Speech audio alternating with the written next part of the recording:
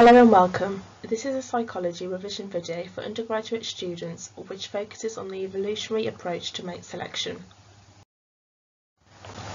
To begin, we'll talk about evolution itself.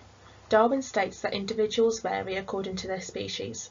Their variations can be inherited and passed on to other generations, therefore individuals compete for resources and try to be successful in reproduction. The process leads to an evolutionary change and the species adapt to their environment for their survival. Richard Dawkins, 1967, states that survival is at a genetic level and that our purpose is to pass on our genes. He proposed the selfish gene theory. This involves two types of ways of getting individuals to pass on their genes to the next generation. One way to pass on your genes is through direct fitness.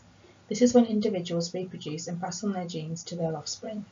The second way is through indirect fitness. This involves helping relatives with the same genes to reproduce the next generation and bring up children to survive to a reproductive age. Both of these lead to inclusive fitness, which is the measure of all genes passed on to the next generation. Now please pause the video to discuss what you think females look for in a male partner. These are some of the characteristics that Buss suggests females look for in a male partner. Protection, parenting skills, social status and attractiveness. We will go into more detail throughout the video. However, if you want to extend your revision a little further, you're welcome to look at the studies provided that support each aspect. The characteristic of protection can be split into bravery, strength, athletic ability and size. These enable males to. The next characteristic is attractiveness. This can be split into symmetry. Those with a symmetrical face may be seen as more appealing than those who are not. Furthermore, we have physical attraction, masculinity and health. Attractiveness tends to suggest that males are fit and healthy and have good genes for the next generation. Females look for males who are emotionally stable, dependable, willing to invest in their children and are kind. This will lead to successful parenting skills to enable survival for their offspring. Lastly, females look for status. This means that they are ambitious, well educated, have high financial prospects, and therefore have more resources to invest in the female and their offspring. A good social status provides a powerful cue to his possessions of resources. Now, as done before, please pause here to discuss what you think males look for in a female partner. Some characteristics that males look for are youthfulness, attractiveness and chastity. All this is supported by the studies shown. Again, you're welcome to go over these in your own time. The first characteristic is youthfulness.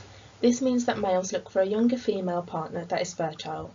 This is because older females have less gametes, therefore are less fertile and favourable.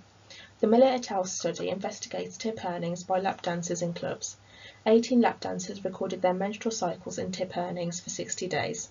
The girls that were in the fertile stage of their cycle earned almost twice more tips than those who were not. This suggests that fertility may be seen as important to men even if they do not realise it. Furthermore, we have attractiveness. As found with females, males look for physical attraction.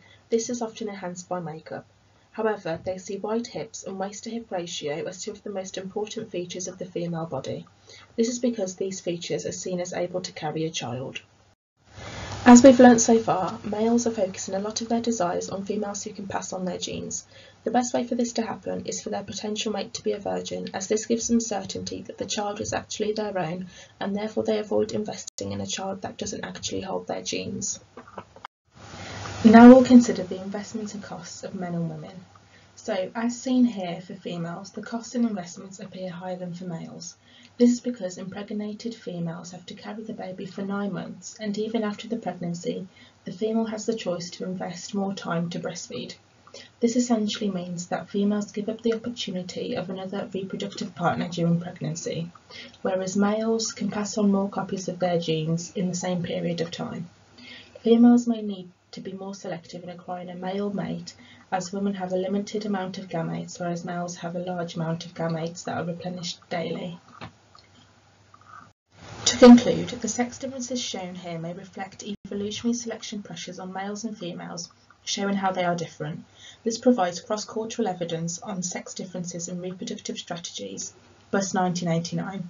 However, the evolutionary theory of mate selection does not account for homosexual relationships or arranged marriage.